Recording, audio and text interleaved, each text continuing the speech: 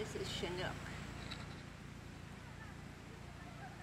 Wow. And, and what kind of owl is it? A barn owl? Wow. So is it a he or a she? Yeah, this is a boy. It's a boy. They are really the only difference you can see in the males and females are the males are a little smaller um, than the females, and sometimes the females have more of the spotting on their chest.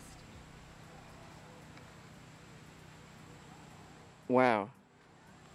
That really is something. Yeah, real pretty. Oh, don't do that.